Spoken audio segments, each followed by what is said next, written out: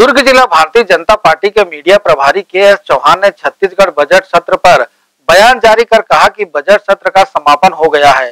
इस दौरान कई महत्वपूर्ण सवाल विधानसभा में उठाए गए, जिसमें सबसे महत्वपूर्ण सवाल प्रदेश में बेरोजगारी का मामला रहा, जिसे नेता प्रतिपक्ष धरमलाल कौशिक और विधायक रेणु जोगी ने उठाया था, जिसका जवाब देते हुए मुख्यमंत्री भूपेश बघेल ने कहा कि साढ़े तीन साल में बीस हज़ार नौकरी प्रदेश सरकार ने दी है जबकि प्रदेश सरकार द्वारा जगह जगह लगाए गए बोर्डों व होर्डिंग्स में प्रदेश में साढ़े चार लाख लोगों को नौकरी दिए जाने का बखान किया गया है, जो सत्यता से परे है। श्री चौहान ने कहा कि प्रदेश सरकार को कोई न कोई उचित कदम उठाया जाना चाहिए, ताकि प्रदेश के बेरोजगारों को नौकरी मिल सके। उन्होंने बजट सत्र को लेकर कुछ इस प्रकार से अपनी प्रतिक्रिया दी। जय जोहार संगवारी छत्तीसगढ़ के विधानसभा के बजट सत्र समाप्त हो गए।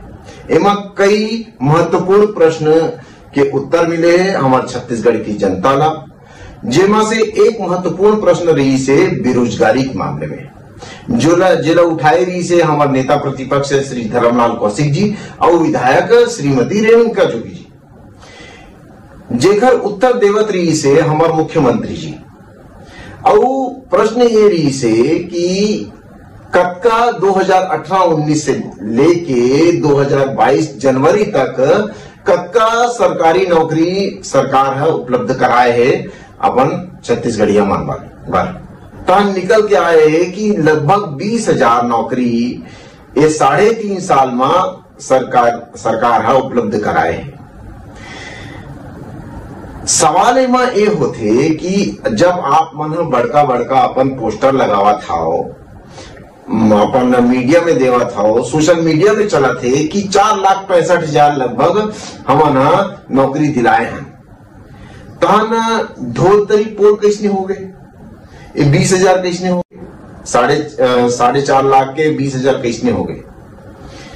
एक से भी बड़ा सवाल ये है कि जब तक आप साढ़े तीन साल में बीस हज़ार नौकरी दिलाया हो एक एवरेज अपन मानो पाँच साल में आप मना तीस तीस से पैंतीस हज़ार नौकरी ला दिलाओ।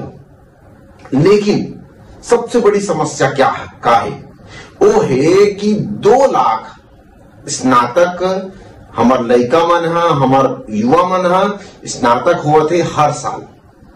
एक मतलब पाँच साल में हमार लगभग दस लाख युवा मन स्नातक हो ही और दस लाख मन के मन नौकरी चाहिए लेकिन आप मन कतका देवा हो?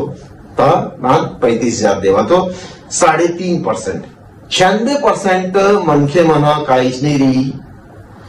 का कॉम्पिटिटिव एग्ज़ाम ऐसने लेट हुई का भर्ती ऐसने नहीं हुई जो आप मन पहली अपन करे रहे हो, अपन घोषणा पत्र में करे रहे हो, अपने घोषणा पत्र में बोले रहे हो जिला देख के आप मन ला छत्तीसगढ़ की जनता आशीर्वाद दी रही से, सत्ता में लाए रही से, एक उम्मीद में लाए रही से, ओ मन की उम्मीद है टूटा थे। और हमन के आप मन से आग्रह है कि आप मन जल्द से जल्द जल्द से जल्द, ज़्यादा से ज़्यादा भर्ती कराओ। क्योंकि बहुत ज़्यादा बेरोजगारी की समस्या हमारे छत्तीसगढ़ के आगे है।